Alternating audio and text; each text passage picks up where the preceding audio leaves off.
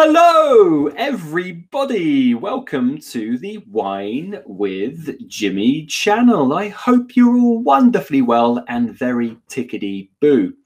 Um, now, this is a video on our new channel range called Explaining Wine Terminology. So there are key terminologies that you'll hear uh, spoken in the world of wine to do with many different concepts, including things like wine production, labeling, geology, and so on and we're going to explain them in good detail. Now, this is very useful for those of you studying the WSET courses. As you know, uh, my, my channel is very much geared towards the WSET. So this is very good for those of you studying WSET level four. So this is the diploma, but will be exceptionally useful for those of you studying the level three. Some of the information here for you level three students may be a little above your pay grade, but it is still nonetheless exceptionally useful uh, for your knowledge. Uh, so it's a bit more information than you need, but why not? It will be useful for you. As always, if you do have any comments, questions, or those concerns, please pop them in the comments section of the YouTube video, or you can get in touch via social media that you see at the bottom of every slide, or direct by the website winewithjimmy.com com. Be great for, to hear from you. So let's look at the world of diurnal range. What does it mean? What are high and low diurnal ranges? How do they impact wine styles and aromas and all of those kind of things? We've got some lovely pictures to back up a lot of all of this information that you will learn. So first of all, a definition of diurnal range. The diurnal range of an area or a region or vineyard site, in fact, you can be quite specific, is the average difference between daytime and nighttime temperatures. Okay, so the precise effects of different diurnal ranges are not yet fully understood. Now, I know this often sounds like a little bit of a cop out, you know, the fact that we don't fully understand these concepts, a little bit like how geology can affect wine as well. But of course, we are exploring many of these factors, and the information that we have from different schools of thought uh, what I will present in this presentation. But of course, there will be contra contradictory evidence out there as well. So there are some schools of thought that suggest constant temperatures are more favorable for producing higher quality grapes. But there are other schools of thought that believe that significant differences between average daytime and average nighttime temperatures is beneficial. And it depends, of course, on the philosophy of that person, the area, the region, and so on. The effects on the wine will depend on the average day and nighttime temperatures, as well as a number of other factors. Remember, they're not mutually exclusive. There will always be overlap here. So things like the grape variety, things like time in the growing season, so the specific time, and the availability of water. So what are we going to talk about first? high diurnal ranges, give you some examples and what really contributes to a high diurnal range area. Here is the DO of the Ribera del Duero, this uh, wonderful region, one of the DOs of Castilla-Leon, is found on the Duero River as it runs down into northern Portugal. The river starts its life in the Sistema Ibérica and then kind of goes immediately south and then heads west. And the first real important wine region here is the DO Ribera del Duero at both high altitude and continental, very continental. So it has extremely high continentality because it's landlocked central, central northern Spain. So those two factors are exceptionally important. High altitude and continentality really increases the diurnal range. And here in the DO Ribera del Duero, common summer days will be 35 degrees Celsius, and then the nights, of course, can drop well below 10 degrees Celsius. And that big difference is, of course, the big difference of the diurnal range. So that is high diurnal ranges. Then we have low diurnal ranges, and these are areas that are close to large bodies of water. The obvious examples here are seas and oceans, uh, massively affected, tempered, and moderated by those large bodies of water. But I've given a slightly more niche example here, and that is a lake which is on the Hungarian border of Austria. And this is the Neusiedlersee Lake in Austria. You'll see it in the background of that picture. And that can have a moderating effect uh, also on the localized area. But think mainly about, of course, coastal zones that tend to be the most moderated, of course, places like the Loire, places like Bordeaux, etc. Okay, they'll have low diurnal ranges. So, what about diurnal range in warm to hot climates? So, warm to hot climates are areas where the average growing temperatures during the growing season are above 18.5 degrees Celsius. That's for warm, and then in excess of 21 degrees Celsius for a hot climate. So these are exceptionally warm places, such as Ribera del Duero, but also Mendoza, which is Argentina's wonderful large region uh, that produces a significant amount of their uh, of their annual production. So in these areas, you'll have um, the large diurnal range, which is thought to be quite beneficial to the overall quality of the wine produced. In these climates, a relatively cool period during the night can slow the respiration of the malic acid. And the malic acid is the secondary acid that we find within grapes, which can provide a real nervy, racy character in a lot of wines.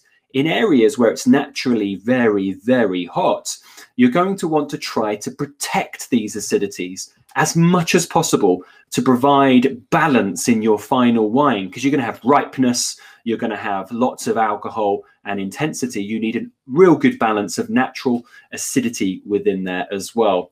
So they believe, of course, here that um, the cooler nights slows the respiration down of the malic acid. There isn't too much lost through the grapes uh, during those uh, those cooler nights. Also, uh, it's beneficial for the formation of anthocyanins.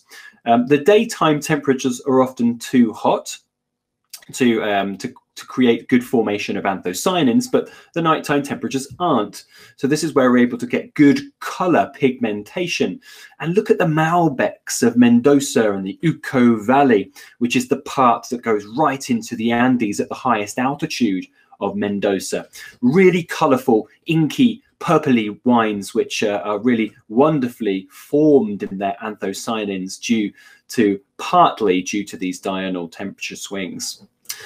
Diurnal range in cold or moderate, so this is below 18.5 degrees Celsius for moderate and below 16 and a half for cool climates, such as uh, places like the Mornington Peninsula in Victoria, Australia, or the Mosel in Germany, in southwest Germany.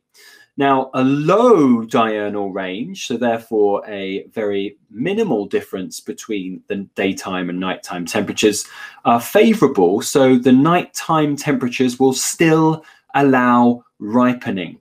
So longer elongated ripening. And this means that there will be better acid degradation. So that is the reduction of the acids, which may be a little bit too high in these exceptionally cool places. So that allows better continued degradation of the acidity. Okay, so that's the cool to moderate climates.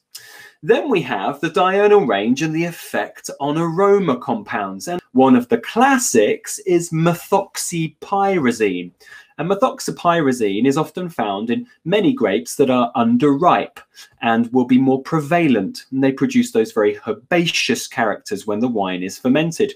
But there are certain grape varieties that have more methoxypyrazines.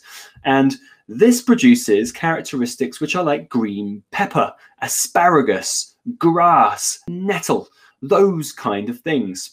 Now, here we've got on the left hand side, you have got a, a, a, um, a temperature scale, uh, a thermometer, and you've got the arrow going up there, the red arrow. So this is basically explaining that warmer nighttime temperatures, low diurnal ranges, is actually going to be associated with the greater breakdown of methoxypyrazine. So basically better ripening and breaking down those, those methoxypyrazine compounds.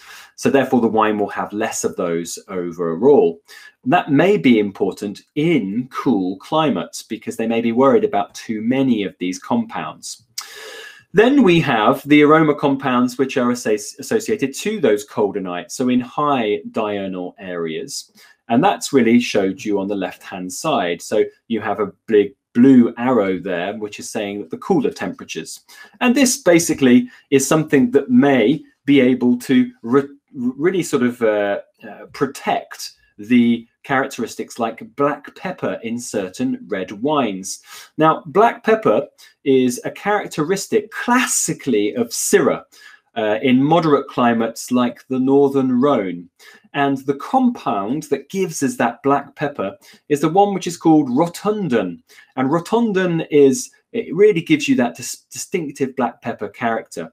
It's actually from a chemical compound called sesquiterpenes, uh, and Syrah is the varietal that has a high amount of these. Um, Rotundone actually originates from the grape skins, and in fact, it is one of the few aromatic compounds that can be found directly both in the grapes uh, and in the wine. So it's an aroma in the grapes, not a precursor, and then an aroma finally in the wine as well. Uh, so in these cooler places, these are actually retained. Um, and that's something which, of course, the Northern Rhone is, I think, slightly worrying about as climate change comes into play. Places like the Northern Rhone are getting warmer. And the actual retention of this classic varietal character, this rotundone character, which produces black pepper, potentially could start to be diminished in this region. So the varietal character, which everyone knows it for, could be lost. Now, given the number of aroma compounds and precursors in grapes uh, and their interactions, such relationships uh, are, of course, quite complex. So we don't 100% know these, but we've given you some, um, some trains of thought. So exceptions to the rule here. So there are um, some exceptions to the general theories that we've just proposed where you have cold nighttime temperatures um, and then cold, generally cold areas. So you have cold temperatures and then cold nighttime, like many parts of the Wachau in Austria on the Danube River. So you'll see cold nighttime temperatures well below 15 degrees Celsius, but generally in quite cold climates as well. Um, so you will not, we're not too sure why this happens, uh, Perhaps it's related to the extension in the growing season that cool nights give, so a longer season.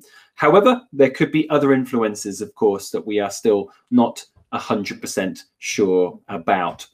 Okay, so that really is talking through the diurnal range. I really hope you found this useful. Remember, if you are here for the first time, click the subscribe button. Make sure you do subscribe to get two wonderful updates of wine information and wine knowledge per week. Um, and if you are not already and you are studying your WSET, please make sure that you go and subscribe to my e-learning portal. So this is found at www winewithjimmy.com. Click on e-learning portal. And if you're studying for your WSET level one, two, three, or four, you can subscribe to any of those and you will find exclusive video content, many, many videos, which are exceptionally useful. The level three ones, for example, have partial written uh, questions and answers at the end of many of the uh, videos. You will find short written answer questions and answers. You will find multiple choice questions and answers, revision sessions, and soon to be things like map functions as well. It's a really useful place uh, for you to um, supplement your learning in class with your WSET. Well, thank you so much. I've been Jimmy Smith of the Wine with Jimmy. I um, hope to see you very soon. If you do find yourself in the wonderful city of London, then please make sure you come and see me at one of my wine bars or wine schools. So come and see me for a class, a glass, or a bottle. I've been Jimmy Smith.